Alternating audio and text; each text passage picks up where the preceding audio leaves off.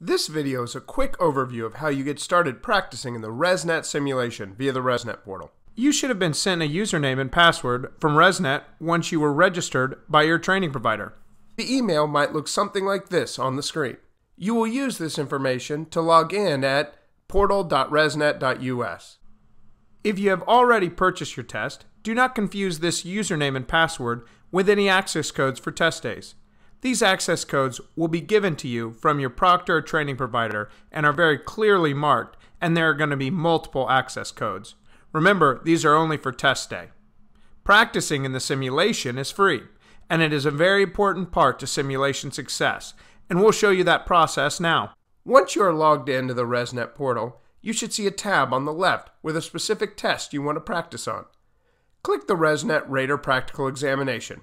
Don't worry, by clicking here, you are not starting the exam portion of your test. Next, you should see a green button labeled Launch Training Simulation. This will take you to the simulation home screen.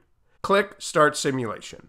Once it has loaded, you now have access to the simulation's learning management system. On the left side is how you manage your activities in the program. By clicking on each label, you will see your clickable options change in the middle of the page. Make sure you start by watching and reading all the introductory materials in the first tab. This is a very important best practice to ensure simulation success. To start a training simulation, click on 3D Practical Simulation Challenge. This will release a drop-down of two training houses. On the center part of the screen, you'll see Training Mode and Challenge Mode. Training Mode for the first house has six different scenarios to practice in. Choose the first one and the simulation will begin to load. You are now on your way to learning and practicing. It is, though, very important to watch all available learning videos in the introductory section.